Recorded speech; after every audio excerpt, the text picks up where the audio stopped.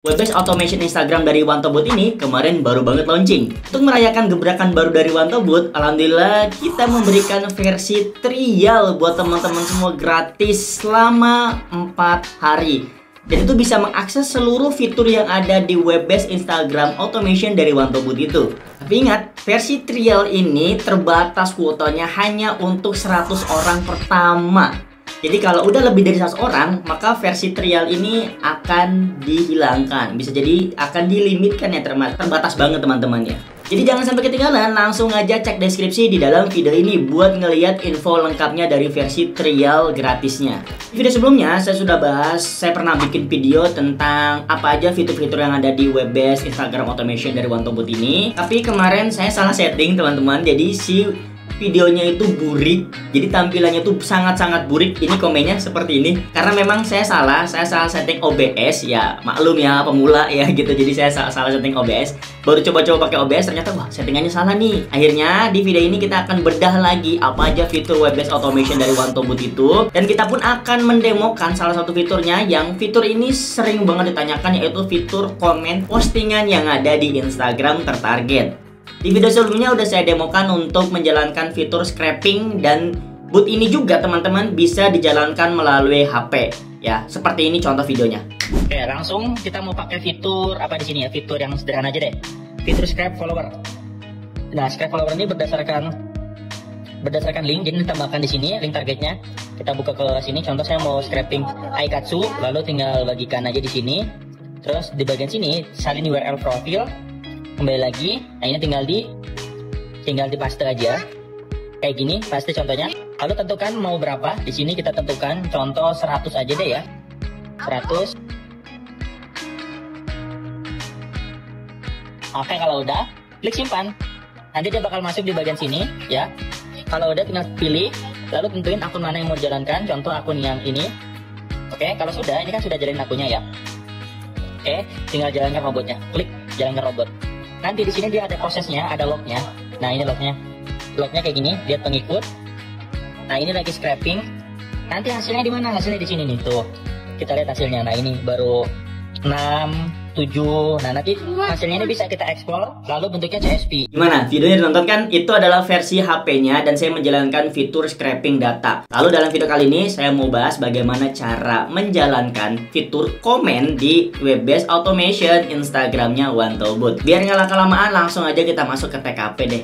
Oke ini untuk penampakan dari TKP-nya Tampilannya seperti ini. Jadi teman-teman nggak perlu instalasi Karena dia basicnya adalah web-based atau website Yang nanti semua akan berjalan di dalam server Lanjut, caranya yang pertama simpel banget teman-teman cukup minta aja lisensinya ke admin karena ada versi trialnya. Dicoba-coba aja dulu ya. Nanti boleh minta masukan, kritik dan sarannya teman-teman itu sangat membantu banget untuk perkembangan usaha kita biar bisa lebih mempermudah mudah-mudahan bisa manfaat juga buat banyak orang. Amin ya Allah. Oke di sini langsung aja kita masuk ke apps.wantobut.com ya ini versi appsnya. Nanti ini juga bisa diakses melalui handphone di browser teman-teman jenis apa pun. Mau browser UC mau Opera mau Chrome apa pun di dalam di dalam handphone teman-teman itu pun bisa diakses. Tapi saya selalu menyarankan aksesnya melalui laptop karena akan lebih nikmat tampilannya ya. Oke Lanjut, kita akan masuk ke bagian sini. Lalu di sini pilih platformnya. Di sini baru ada Instagram dan insya Allah di bulan depan kita akan bikin versi Facebooknya. Ini udah ada remang-remang Facebook ya. Jadi uh, udah saya infoin aja dulu. Insya Allah di bulan depan kita akan launchingkan juga Facebook. Jadi minta doanya teman-teman yang sekarang pakai versi Exe nanti boleh boleh teman-teman coba trial versi Facebooknya dicoba-coba dulu kalau cocok ya berarti boleh untuk pakai Facebooknya. Oke, jika sudah ini kita langsung masukkan untuk akses yang diberikan oleh admin. Teman-teman tinggal minta ke adminnya karena lagi ada 100 kuota pertama untuk versi trial ini. Langsung kita masukkan ke ini untuk emailnya ya. Ini emailnya saya sensor ya. Oke, jika sudah dimasukkan email dan passwordnya, tinggal di bagian login, tinggal klik login aja. Nah, ini klik OK, ya. Klik no, no, no, gitu aja ya. Oke inilah tampilan dari web base uh, Instagram automationnya OneTopBoot. Mungkin nanti untuk uh, tool-tool lainnya kita akan masukkan dalam uh, ini, tapi mungkin akan berbeda-beda teman-teman. Berbeda-beda untuk tampilannya. Tapi untuk saat ini Instagram kita buat seperti ini. Di sini ada sebelah kiri menu bar sebelah kiri ini adalah menu-menu untuk fitur-fitur. Jadi kayak klik uh, bagian akun, post Instagram, komen, follow, kirim pesan, Instagram interaksi sama scraper follower. Ini adalah fitur-fitur yang ada di web based Instagram automation ini. Jadi ada totalnya kurang lebih 7 fitur yang kita sediakan teman-teman ya. Untuk loginnya, loginnya otomatis, posting, lainnya gitu-gitu ya. Oke, itu yang sebelah kiri. Lalu untuk yang bagian tengah ini adalah dashboard atau uh, kita masukin data gitu ya, kayak masukin akun, masukin data input inputan itu di tengah sini. Lalu ada di sebelah kanan ini adalah log. Log itu adalah tindakan. Nanti semua tindakan kita akan kerekod di bagian sini. Nanti kita contohkan ya. Contoh si akun sedang ngeklik apa, ngeklik bagian mana, elemen mana itu akan ada di sebelah kanan ini ya. Dan log ini akan diupdate satu kali 24 jam. Jadi kalau udah 24 jam dia akan hapus otomatis. Atau teman-teman bisa bersihkan log kalau dirasa kayaknya, "Wih, log saya udah banyak banget nih." Bersihkan aja lognya. Atau bisa download juga lognya di bagian download log ini. Oke, seperti itu. Lalu untuk bagian log ini bisa kita tutup dengan menutup matanya. Klik ini bagian mata. Nah, nanti ditutup matanya, dibuka lagi matanya akan terbuka lagi lognya. Lalu di bagian ini ada namanya mode, mode siang dan malam ya. Siang dan malam, ah gitu modenya ya. Ini mode siang dan malam ini kalau kita klik ya jadi silau gitu. Kalau kita tutup lagi modenya jadi mode gelap gitu. Jadi mode terang, gelap, terang, gelap gitu. Sebelah ini adalah fitur penting yaitu logout. Jadi usahakan teman-teman setelah menggunakan setelah login, lalu kita udah beres kerja ya atau beres menggunakan fitur. Ini kan kita masuk ke browser ini ya, ingat ya itu usahakan nanti teman-teman masuk lagi ke browser ini. Kalau nggak pengen masuk ke browser ini, teman-teman kudu logout. Kenapa? Kalau belum logout, nanti pindah browser itu statusnya adalah gagal login. Kenapa? Karena masih tertanam di blog di browser ini teman-teman gitu. Atau mau pindah komputer lah, atau mau pindah data. Karena kan ini kan bentuknya server dan web base. Bisa diakses dari mana aja dan datanya itu akan include atau ikut ke uh, ya ke PC, laptop atau tablet yang kita bawa. Contoh nih, saya punya komputer A ya. Di sini nih komputer saya. Terus saya lagi pengen keluar kota nih, cuman bawa HP nih ya, cuman bawa HP. Maka saya bisa akses si webbase ini melalui HP saya dengan akun data akun yang ada gitu. Jadi data akunnya tetap nggak akan nggak akan hilang data akun karena data akun disimpan di server teman-teman data akun ya. Untuk data postingan kan nanti ada inputan data-data ini data ini dia akan hilang karena apa? Karena dia tersimpan di Chokis di ini di Chrome ya. Saya nanam data ini di Chrome, sisanya saya pindahin ke server biar lebih aman. Oke? Okay? Seperti itu, jadi ini harus logout wajib teman-teman kalau udah melakukan tindakan automation atau udah pakai ini usahakan di logout gitu ya, logout, logout. Nah, nanti login lagi aja seperti itu. Oke, okay, jika sudah ini kita klik oke okay, teman-teman, lalu jangan lupa di klik checklist. Baik, sekarang udah mulai paham untuk interface-nya atau UI UX-nya ini sederhana banget. Nanti kita akan buat tool yang lebih UI-nya lebih wow ya mungkin ya. Oke. Okay? Baik, kita akan menjalankan salah satu fitur aja teman-teman karena basicnya ini sama semua cara pakainya. Sekarang kita akan menjalankan fitur komen aja deh.